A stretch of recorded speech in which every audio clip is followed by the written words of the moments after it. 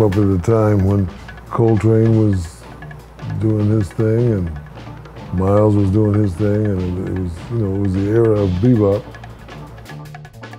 In my neighborhood, Los Angeles, Central Avenue was just finishing up, but the music was continuing to spread all over the city.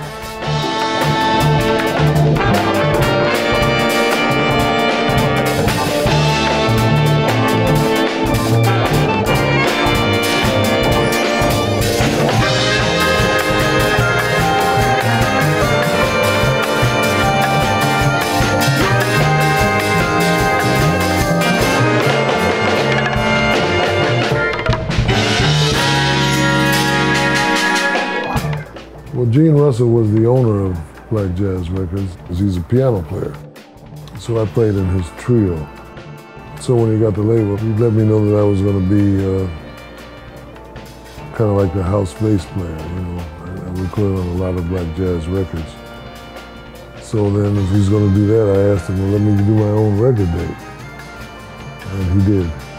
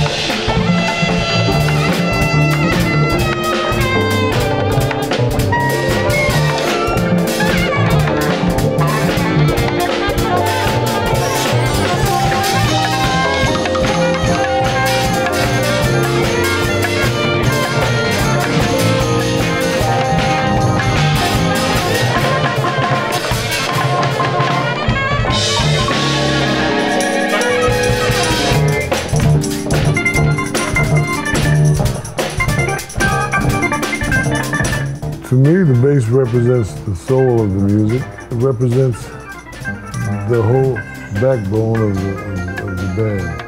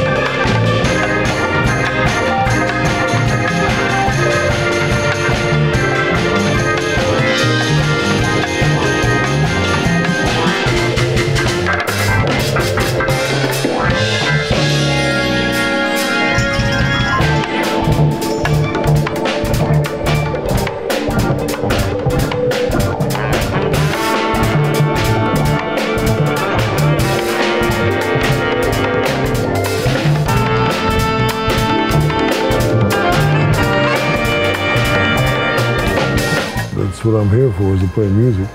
As long as I'm breathing air, that's what I'm going to do.